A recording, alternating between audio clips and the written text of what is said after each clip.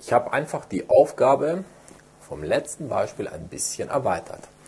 Im letzten Beispiel stand da rechts eine 0. Jetzt steht keine 0 mehr drin. Was ändert sich? Was sich nicht ändert, ich habe wieder einen Nenner, also das untere, und ein Nenner darf nie 0 werden. Also muss ich wieder, auch wenn es nicht gefragt ist, meine verbotenen Werte betrachten. Der Nenner darf nicht 0 sein, das heißt x darf nicht 1 sein. Bleibt so stehen. Falls ich in der Lösung zum Schluss rauskriege, x gleich 1, ist das nicht erlaubt. In allen anderen Fällen interessiert mich das nicht mehr. Was mache ich? Natürlich, Nenner sind immer böse, also multipliziere ich auch hier mit dem Nenner. Links kürzt sich der Nenner mit, dem, mit der Klammer weg, deswegen multipliziere ich auch damit. Das heißt, links habe ich nur noch stehen x plus 3.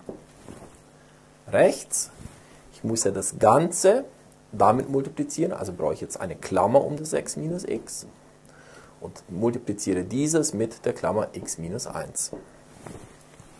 Was habe ich jetzt erreicht? Ich habe plötzlich keine Bruchgleichung mehr, ich habe nur noch eine normale, in Anführungsstrichen, Gleichung. Habe hier allerdings zwei Klammern und die muss ich auflösen. Links bleibt es also stehen und rechts multipliziere ich einfach aus. 6 mal x sind 6x 6 mal minus 1 sind minus 6. Minus x mal x sind minus x Quadrat. Minus x mal minus 1 sind plus x. Ich habe eine quadratische Gleichung wegen dem x Quadrat. Das heißt, ich weiß schon, irgendwann mal werde ich vermutlich Mitternachtsformel brauchen, also ABC-Formel oder PQ-Formel. Erstmal bringe ich alles nach links.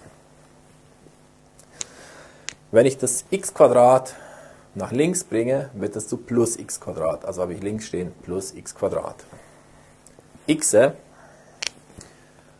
6x plus x sind 7x. Wenn ich die rüberbringe, x minus 7x sind minus 6x.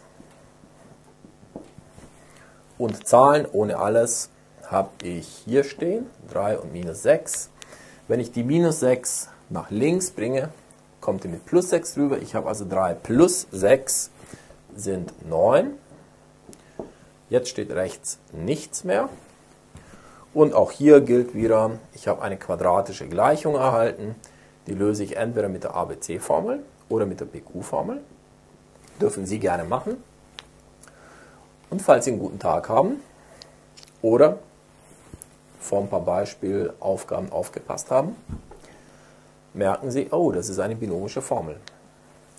Das heißt, ich könnte dieses Ganze schreiben als x minus 6x plus 9 ist das Binom von x minus 3 Quadrat.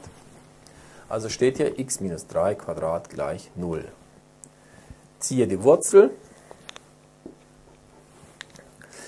und komme auf x minus 3 gleich 0, sprich, oh, der Pfeil ist in der falschen Farbe, müssen wir natürlich mit Blau machen. So, sehr schön. Wenn ich die 3 rüberbringe, habe ich x gleich 3. Das ist ein wundervolles Ergebnis und damit beenden wir die Berechnung von dieser wunderbaren Bruchgleichung.